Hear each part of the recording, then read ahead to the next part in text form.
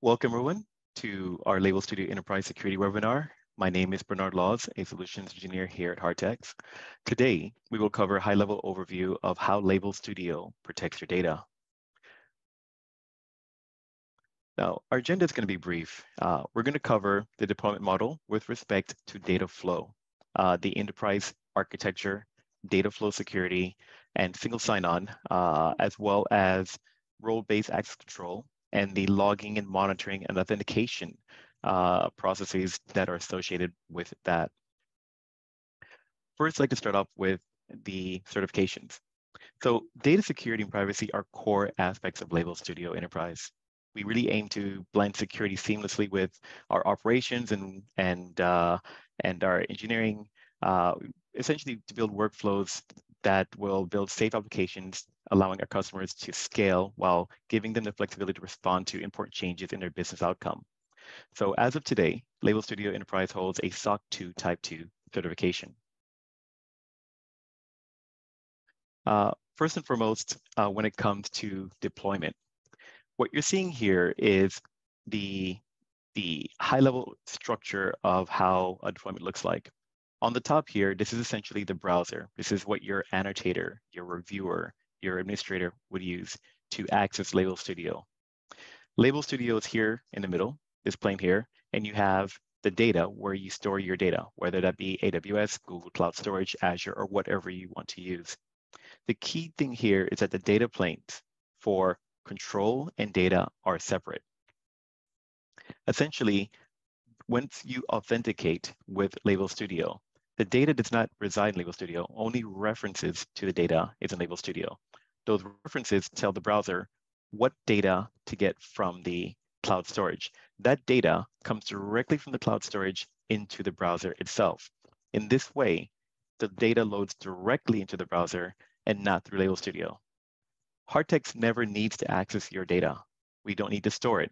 It all comes directly from your storage and into the browser. Finally, I'd like to just mention a, uh, a point on TLS encryption. All of the data in transit is encrypted. That means when connecting and reading the URLs from the bucket and sending the annotations back to the cloud storage. So this is a two-way street. So not just receiving data from the cloud storage, but also return, right? And so this, this communication as well between the browser and Label Studio, also encrypted. Now let's talk a bit about architecture. Um, as we mentioned earlier, all data is encrypted in transit, but also all data is encrypted at rest. So sensitive data uh, uh, being encrypted in transit is one thing, but when it comes to passwords as well, it's encryption is a, is a key component to our security. With Label Studio Enterprise, in, administrators have the ability for both SAML and just-in-time provisioning as well as full provisioning, as well as controlling access through, L, through LDAP and Active Directory identity, identity providers. Uh, additionally, we will explore later um, uh, the idea of user privileges and role-based access control. But uh, if we continue down here, we'll see that secure cloud storage connection can be established for both importing and exporting uh, to your respective cloud storages. And the URLs can be, uh, can, can be established with expiration times through pre-signed URLs. Now, just a little bit more about TLS encryption. Uh, TLS connection is enforced across all product services, including the app, right? Which means establishing secure connections by connection, um, uh, HTTPS protocol, um, in, in, you know, including all the secured cookies, uh, the Postgres SQL, right? Uh, as well as the Redis. Okay, uh, let's see. Maybe I want to also mention a bit here in terms of uh, TLS uh, encryption protocol is also supported between all application components, right? So that means API is accessed only by specific HTTP verbs, as well as API is expecting to be accessed from the browser-based clients implement a proper cross-origin sharing CORS policy. Okay. Now, uh, we will have time for questions at the end. So uh, if there's any questions at the end, please, uh, if, I'm not clear about any of the points here on the slides, feel free to ask them at the end. Now onwards to data flow security. And when we talk data flow security, primarily what I'm talking about is cloud storage data flow security. On the cloud storage, The app enables restricted access to the storage keys and the credentials, as well as limited access through pre-signed URLs. I mentioned it earlier in the, in the previous slide. In the case of custom data provider, like uh, a non-cloud storage, meaning non-GCP, non-AWS, etc., uh, the app enables restricted access to the data URI stored in the database. The data access requests are verified and proxied with basic auth headers to the specified endpoints. This prevents URI from being accessed elsewhere by any unauthorized users. In this way, the app enables restricted access to the credentials. Uh, additionally to this, uh, cloud storage authentication credentials could be provided globally for an on-prem environment, if that's applicable to you, uh, as well as specifically per project by an authorized user. Of course, uh, API tokens can be reset at any time to uh, if, if there's any concerns in that respect.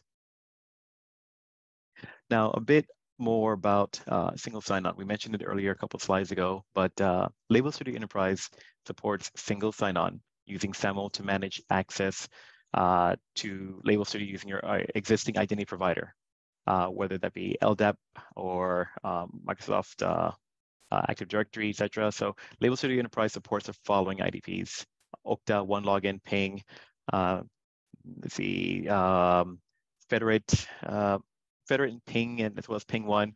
Well, essentially, e even others that use SAML assertions as well.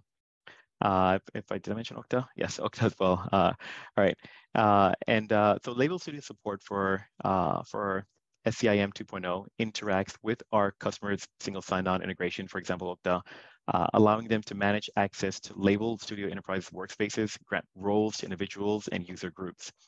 This provides a great segue into our next topic, which is on role-based access control. Now, when it comes to role-based access control, there's essentially four tiers that I want to describe before I speak of the roles themselves. The four tiers are at the organization level.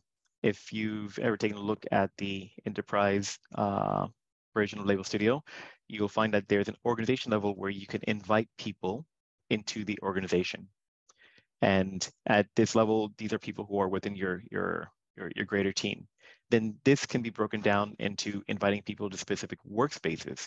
These workspaces are groups of projects that you've grouped into uh, essentially a folder. And then the project itself can be uh, can be restricted to specific users from within that workspace.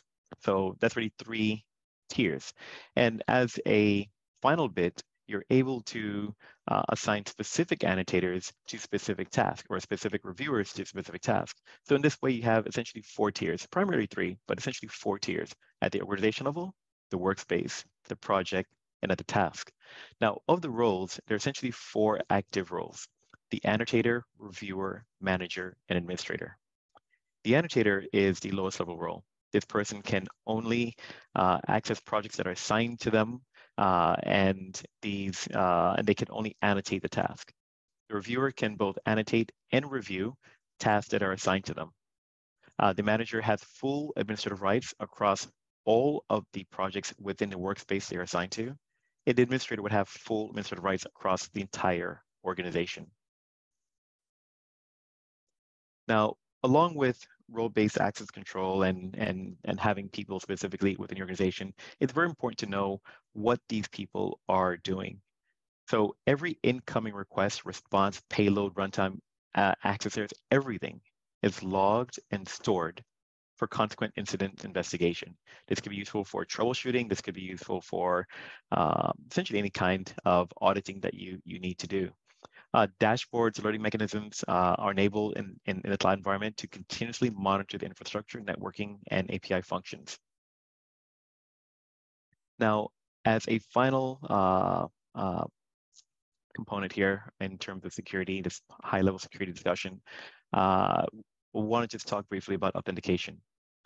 Strong passwords are enforced uh, with uh, Label Studio uh, Enterprise. Some schemas include things like dissimilarity between the password and other attributes, minimum length of eight characters, uh, checking for common passwords, alphanumeric strings, and, and, and others. Uh, the passwords are then encrypted uh, using PBK DF2 algorithms, as well as SHA-256, I believe, as well as the, the app forces the browser to send only cookies over HTTPS connections. So with that, I know this has been a very high level overview, but the key points I want to uh, emphasize here uh, in terms of securing data. One of the best ways to secure data is to not ever have it at all. So one of the points I brought up uh, uh several times is that the data is not stored in Label Studio. Your data never needs to go through Label Studio. We simply have the references to your data to enable the annotator and reviewer to access the data in their browser. So the data is brought directly from your cloud storage to the browser itself. So if there's anything I would like you to, uh, uh, to keep uh, in the discussion would be that. Now, I'd like to open the floor to any questions uh, uh, from the audience.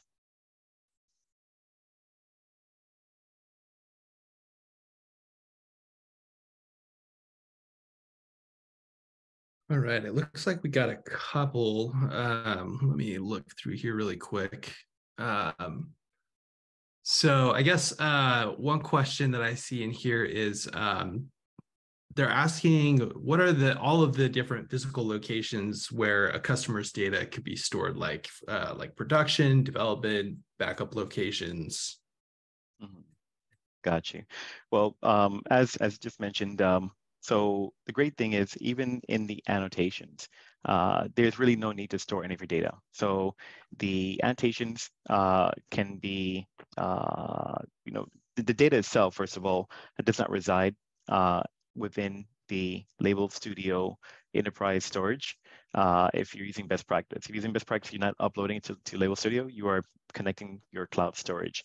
Um, even during the annotation step, uh, let's say you're annotation you're annotating text and you have the option to instead of uh, saving or storing that that text annotation as in within the within the the JSON, you have the option of storing the text location instead. So again, um, there's no physical location. There's, there's essentially you have you have control of your data the whole time. Uh, the data does not need to reside uh, with uh, or through uh, Label Studio Enterprise. All right, perfect. Um, let's see. Here's another one. Uh, they asked, uh, what's the user registration process? For example, like provisioning of users, granting access, revoking access, etc. Yes. So uh, in both the open source and the uh, enterprise version, uh, one way to in, to bring on users is through the uh, through an invite link. You can provide them a link, and that link they can use to register on your register to your organization in Label Studio. Uh, with the enterprise version, you also have the option of using single sign-on and SAML uh, to register through Okta, Active Directory, uh, OnePing, etc. Uh, that's, that's essentially how you, you would perform registration. Uh, for our more enterprise clients, uh, certainly the single sign-on is far far handier for them just because it provides more automated way to manage those users.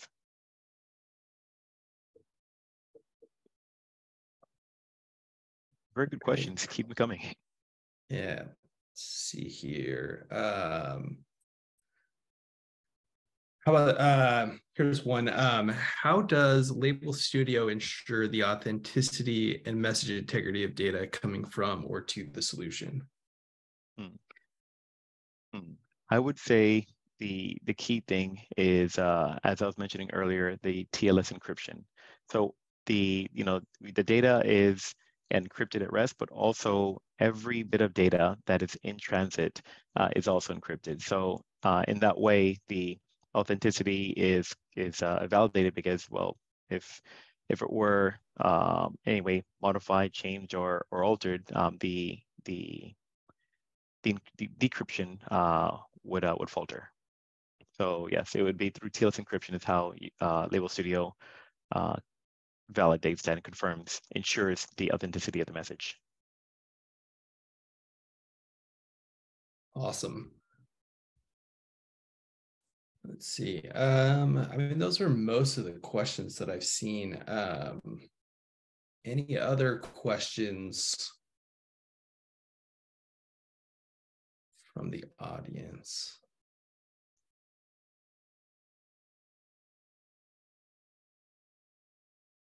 Yeah, it doesn't look like uh, there are any other ones coming in, man. So um,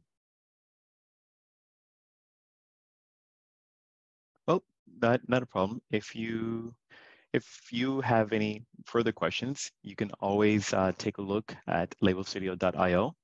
Uh, there's the uh, information there for the uh, there's documentation there for both the enterprise as well as open source uh, application. If you are interested to try out the enterprise for yourself, uh, you are welcome to uh, go to labelstudio.io or even to app.heartex.com and you'll see a link for the enterprise free trial. Uh, if you have any more specific questions, you please reach out to sales at heartex.com and we will be more than happy to, uh, uh, to speak with you on uh, Label Studio, security, whatever topics that, that are on your mind.